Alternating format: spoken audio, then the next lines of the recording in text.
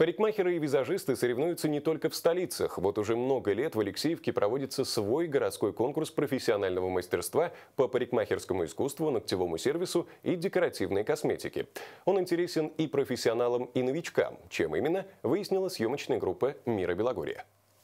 Прическа невесты, фантазийная стрижка или укладка, подиумный макияж, аквагрим, салонный дизайн – всего 11 номинаций конкурса собрали около двух десятков парикмахеров, визажистов и мастеров маникюра. Этому Алексеевскому смотру профессионального мастерства уже 10 лет. Благодаря ему опытные мастера держат марку, а начинающие видят, на кого равняться. Конечно, привлечь молодых мастеров, которые юниоров, которые только сейчас начали свою деятельность, показать им достойный пример, достойный подражания пример, ну и привлечь их к этому конкурсу, чтобы они о себе заявили. Заявить о себе решила и Виктория Гайворонская. Профессиональным визажем она занялась всего три месяца назад. Ее любимое направление – макияж для новобрачных. В этой номинации и выступает. Во-первых, люди посмотрят, оценят мою работу.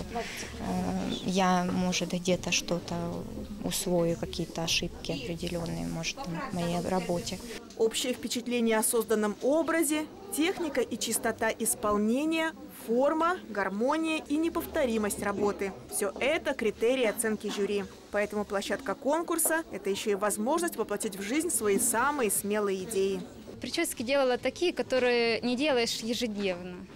Поэтому здесь больше креативно и иногда хочется чего-то нового, что-то попробовать совершенно другое, иное. Для многих главное не эксперимент и не победа, главное – атмосфера состязания. Здесь э, обмен опытом скажем так, обмен опытом. Э, и это главное. И здесь мастер проявляет себя уже совсем немножко с другой стороны, нежели он на своем рабочем месте. Потому что именно дух соревнования, дух э, именно э, конкурса – это нечто другое, нежели мастер обычно каждый день испытывает ощущения на своем рабочем месте.